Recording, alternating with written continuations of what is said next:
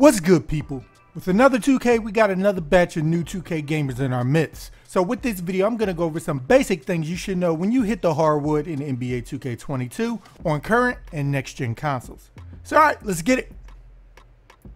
First off, you ever find yourself in an ugly matchup due to a fast break or multiple players in the same area and your point guard somehow is switched on to their center? You could fix this by holding X on PlayStation or A on Xbox and that player will switch assignments with the nearest defender. This can get you out of some unwanted situations to avoid terrible matchups against you. And if you go into your offensive settings and then visual feedback settings and down to team communication, you can set this to defense only and when you manually switch, you will see the players communicate the call above their head so you know who you're switching with.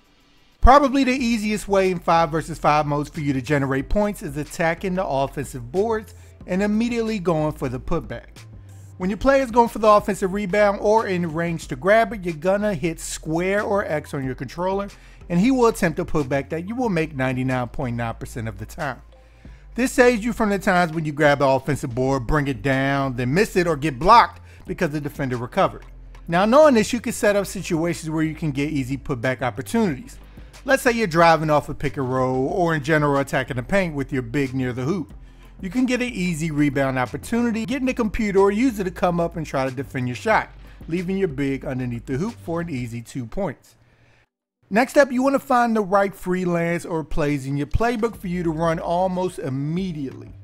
Going into a match and freestyling majority of the game is fun, but when you really need a bucket, it will be nice to know you have this play you've been working on in your back pocket or operating out of this specific freelance that will help you avoid running into teammates, messing up the space, then get the ball stolen from you.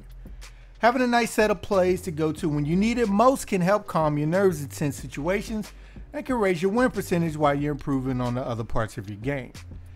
Hitting right on the D-pad in-game and then freelances will give you access to your four freelances to choose from, where you can select which four you want as options in your coach settings. While hitting LB or L1 on your controller, then the last option positional play calling, and then the player's corresponding button will give you access to a slew of plays designed to get that specific player open. The first four options being very basic plays you could do with that player and hitting left or right triggers gets you into the team's playbook and plays for that guy. Some players will only be able to run a certain type of play so they might not have as many pages to play with as someone like a Damian Lillard. Be sure to be quick with this or you will find yourself fighting against the clock as well as the defense.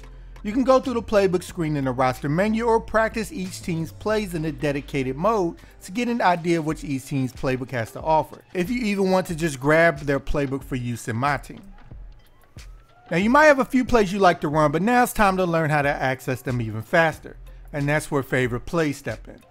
One of the best features in recent years was the ability to set up your go-to plays as your favorite plays, so it would take two or three button presses and bam, you're running it. And without touching anything, your favorite plays will be things like ISO, floppy, and six others of that type. But you can change them by going into your game plan in the pause menu, then down to offensive settings, and then down to play selection. On next gen, I like that you can set this for the starting five and bench guys, so they have their own set of favorite plays. And for the bench plays to trigger your lineup on the court can't have more than two players from your starting lineup in it, and vice versa. From here on the right is your default eight favorite plays like I mentioned, quick ISO, give and go, post up, yada yada. Now if you hit X or A to edit plays, you can remove every single one if you want.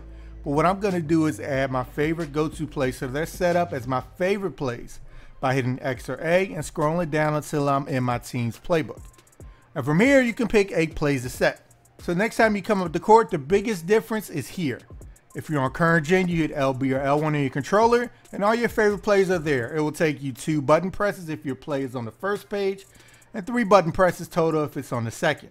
Where on next gen is totally different. You hit left on the D-pad to bring up your favorite plays, but you have to manually scroll through each play to then hit X or A or controller to select it.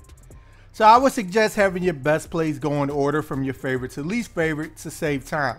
But sadly, still way faster than selecting a player mid-game and scrolling through his plays, then scrolling down and selecting a play to run. I wish they changed this. Now to make sure your go-to play is going to who you want only, you can assign plays to a specific player by highlighting the play and hitting triangle or Y on your controller, and assign it to anybody in your starting five or a bench. to guarantee they get that play despite it not necessarily being called for them. Another tip you must know is while breaking out a defender or trying to execute a fast break three, it's hard sometimes to settle down for a split second to set your feet for a standstill shot. And instead, you would attempt some off balance leaner that you weren't expecting. So you must know how to have your player come to a quick stop. There's a few methods for it, but to keep things simple, one way is while moving with your player while holding turbo, tap the left trigger and then let go of the left stick. If done right, your player will be put into a position to quickly rise up and shoot eliminating the chance of you shooting some off balance shot that you weren't expecting. Now let's talk about having patience when you defend. You want to make putting the ball in the basket as hard as you can on your opponent, so why are you jumping at any and everything under the sun? 2K22 has placed a big focus on rewarded defending properly and not allowing guys to consistently shoot like Steph Curry on 50% contested. So this means every shot they take, you want to be there in their face altering stuff, not in the air with it. Otherwise, you will quickly notice a lot of your guys are either in foul trouble because you opened a clear lane to the hoop, your opponent isn't missing any wide open shots because you're jumping everywhere, or both. Instead of going for blocks every time, start thinking about contesting shots as well. You do this by holding the right stick up while you're moving so your hand is always up and ready to contest, or flick it up to have your defender jump out at the shooter in the contested animation when they're further away. Adopting this type of approach, you will see a positive outcome in their shooting percentages as you're jumping less, but making it that much harder for your opponent. Next is when you're on defense to guard the lines as best you can, and on offense to get to this spot before the defense does. When dribbling and defending, this has helped me a ton. If the ball handler beats the defender to the line, he is now in the paint, and this is when he can start to break down the defense, trigger fouls, and kickouts. So you want to do your best to make sure when the defender is out of position to be ready to pounce. And as a defender, you're always ready to block them off before that happens. Getting familiar to these necessary spots on the floor, anticipating this is where they need to go, or where you need to go will help you react faster when a situation calls for to attack or defend. Instead of taking an extra dribble when the defender is clearly out of position or when the defender is blocking the line early, you can appropriately counter off of that. And on defense, it can even give you a key to know when the ball handler has officially beat you so you now know it's time to sprint. Now I'm sure you've seen by now that 2K22 heavily rewards you for shooting wide open shots by making you almost unstoppable when you're open. So you really got to fight the frustration that may come over you during the game if your shots aren't hitting or not getting the ball for a while in park or the rec and still trying to generate as many high IQ shots as possible. It's nice when badges carry us through a bad I'm shooting this regardless possession, but you don't want your shot selection to suffer because of it. So you constantly have to be aware of where defenders are and think, okay, what are they probably going to do next? To then judge if you should pull the trigger on shots or not.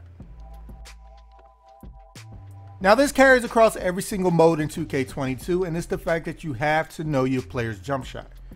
If you're a ball handler, practice shooting in different situations that you might encounter in a game. So you will have supreme confidence once it's game time that you know you're gonna hit it. Try out a bunch and whatever you find most comfortable that you're also successful with, get as many reps as possible everywhere on the court with it. If you're shooting crazy with some player, my team, heck, steal his jump shot even. And lastly, the thing you must master on offense first is having a dangerous pick and roll game. It's the easiest way to break down the defense and get shots for yourself and your teammates. And being a legit threat, using this will make your successful offense a lot easier.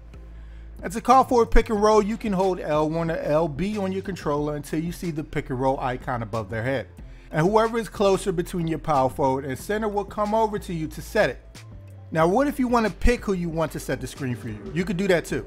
And you do it by tapping L1 or LB and hold the corresponding icon above the player's head you want until he starts to move towards you. So if you want to run a pick and roll with Dame and CJ, you can run a pick and roll with Dame and CJ by manually calling for one. Now you can get tricky with it and you can have them slip to the hoop by clicking LB or L1 in your controller before they set the screen. And they will roll to the rim. This is used if you notice the hedge defender leaving a wide open lane to the basket as they try to defend the pick and roll. You can also change the type of screen you're getting or switch the side they're going to set by firstly holding whoever you're calling over to set the screen for you button all the way through. And to change the type of screen you're getting, by default, your screen man will roll to the hoop. But to change it to a pick and fade, you hit R1 or RB on your controller. And don't worry if you hit it by accident, you can switch it back. And to switch the side they set up at, you click in the left stick on your controller.